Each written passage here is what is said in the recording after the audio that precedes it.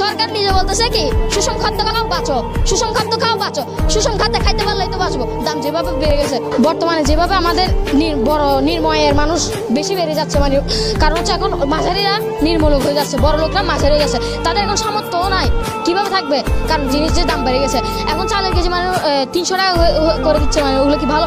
তেমন ভাবে খাতার দাম, বইয়ের দাম, পেন্সিলের দাম ওগুলো দিন দিন বাড়ে যাচ্ছে। একটা তো দশ টাকা কলম, বারো টাকা করে দেওয়া হচ্ছে, তাতে আমাদের সেই স্টুডেন্টদের লিখতে অসুবিধা হচ্ছে। আমরা কি এগুলা মেনে নিতে পারতেছি? মানে নির্ম নির্মলোকরা কীভাবে চলবে? কীভাবে চলবে? তারা কীভাবে পড়াশোনা করবে? তাদের তো গাইড কেনার টাকা নাই। থাকবে কীভাবে? এখন ছয়শো টাকা গাইড করে দিয়েছে। আগে ছিল চারশো টাকা গাইড ওগুলো কি কোনো দেখা যায়? নির্মলোকের মানুষরা, আমাদের ক্লাসে কমপক্ষে একশো জনের মধ্যে বিশ জন ইজিলি নির্মলোক। তাদের কি তারা কি করবে? তাদের তো আর উপায় নাই। তাদের গাইড কেনার উপায় নাই পেন্সিল কেনার উপায় নাই। পরীক্ষার সময় আমার ফ্রেন্ড একটা দেখছি, শুধু একটা পেন্সিল নিয়ে আর একটা কলম নিয়ে পরীক্ষা দিতে আসছে। তাদের স্কেল কেনার টাকা নাই। থাকবে কীভাবে? সবার যে দাম সব কিছুর যে দাম বাড়া, গরুর মাংস কেনার দিন হয় প্রত্যেক শুক্রবার দিনে। দেখা যায় যে আগে আমরা কিনতাম কত কেজি? পাঁচ কেজি, দশ কেজি। মানুষ অলরেডি কিনতো। এখন বড় লোকরা যে মাঝারি যাচ্ছে, তাদের এই কেনার কিন্তু সামর্থ্যটা কমে গেছে। তারা এখন কিনতেছে এক কেজি, আধা কেজি। বা, এখন এক পাও হয়ে গেছে। নির্মূলকের মানুষরা আর কি করবে? তাদের তো এতটুকুই দাম।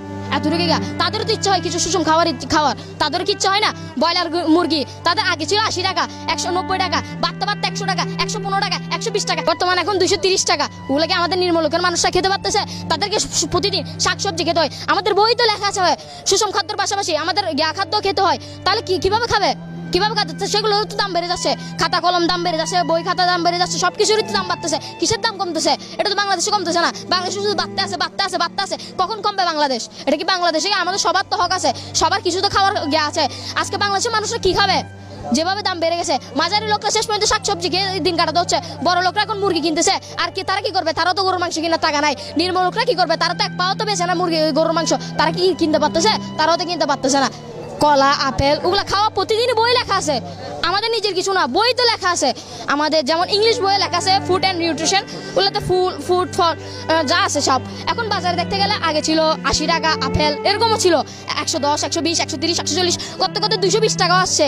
এখন কীভাবে হবে? এখন প্রতি কেজি তিনশো টাকা আপেল। এখন তারা খেতে পারতেছে? কীভাবে খাবে? এখন হচ্ছে সুষম খাদ্য, শুধু শাক শাক শাক শাক শাক। কী খাবে আর?